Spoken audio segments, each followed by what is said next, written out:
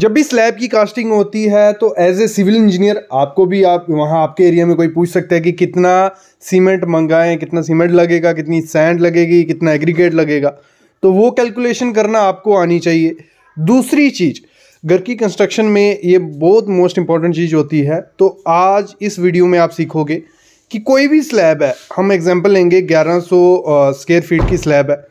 कैसी भी slab slab होगी, इस वीडियो के बाद आप एक रफ एस्टिमेशन निकाल सकते हो कि आपकी जो स्लैब होगी, उसमें सीमेंट कितना लगेगा, उसमें बजरा कितना लगेगा रेती कितनी लगेगी, ये सब चीज़ें इस वीडियो के बाद आप निकाल सकते हो। तो कंप्लीट वीडियो देखना, छोटी वीडियो कोई बड़ी वीडियो नहीं है।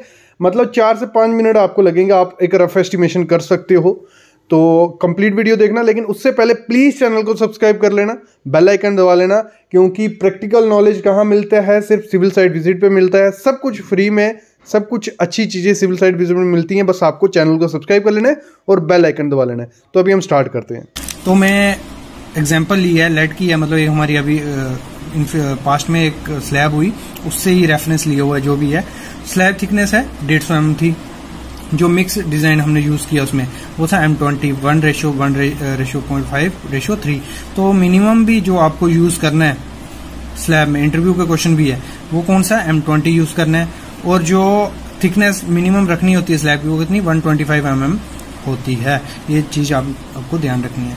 और वन वे स्लैब के लिए मैं आपको बता रहा हूँ और जो रिवर सैंड आपको यूज़ करनी है कंस्ट्रक्शन के लिए जो बेस्ट पूछी जाती है इंटरव्यू में जो कौन सी होती है वो जो, जो सैंड पास हो जाती है। वन एम से और रिटेन होती है 600 माइक्रोन में वो सैंड आपको यूज़ करनी चाहिए।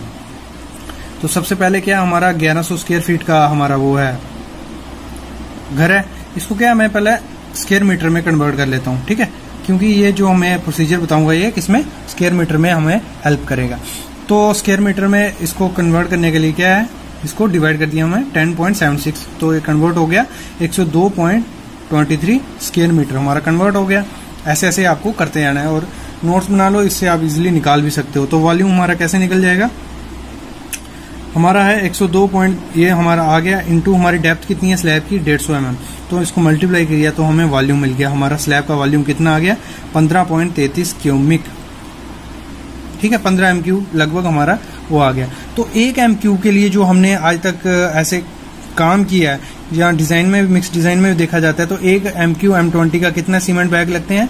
Seven point nine five five मतलब इतने सीमेंट बैग उसमें लगते ही हैं, जितना भी हमारा जो मिक्स डिज़ाइन होते हैं अलग अलग भी होते हैं तो सात से ऊपर ही बैग एम ट्वेंटी में लगते हैं। सैंड कितनी लगती है? Point one four six brass aggregate कितनी लगती है? पॉइंट नाइन टू ब्रास, अगर जिसको ब्रास का नहीं पता है, मेरे को मैसेज करो मैं उसका ब्रास का भी आपको इजिली बता दूँगा। स्टील बार कितना लग जाता है स्लैब में? थम रूल के हिसाब से।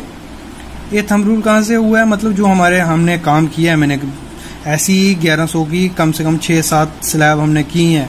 उसके एस्टिमेट के हिसाब से हमने ये किया है। अस्सी के जी पर एम क्यू हमारा सरिया लग जाता है, ठीक है?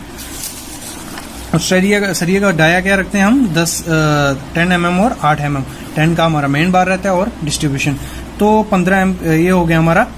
इसके लिए हमें एम ट्वेंटी की क्वांटिटी निकाली है। तो सीमेंट कितना लगेगा हमारा? जो हमारी क्वांटिटी वॉल्यूम आया होगा, उसको मल्टीप्लाई कर देना है हमारा। कितने बैग एम क्यूब में लगते हैं तो उधर से हमारा निकल जाएगा। एक बैग हमारे। सीमेंट लगेगा, ग्यारह सौ स्क्वेयर फीट की जो हमारी स्लैब है। और सैंड कितनी लगेगी? जो वॉल्यूम होगा, उसको मल्टीप्लाई कर देंगे ब्रास से। तो ये हो गया। तो हमारा कितना लगेगा? Two point two three eight brass हमारा सैंड लगेगा। और एग्रीगेट कितना लगेगा?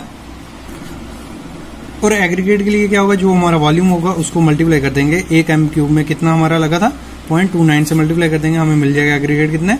Four point four seven brass और स्टील के लिए कितना था? वन एम क्यूब के लिए हमारा था एटी के जी तो इसको मल्टीप्लाई कर देंगे। हमारा जो वॉल्यूम होगा एटी के जी इंटू जो वॉल्यूम तो हमें मिल जाएगा one point two two six K G हमारा उसमें स्टील लगेगा। तो इधर से हो गया हमारा कितना मतलब मटेरियल लगता है एक सौ ग्यारह सौ स्क्वायर फीट की अगर स्लैब है तो उसमें हमारा इतना मटेरियल लगेगा।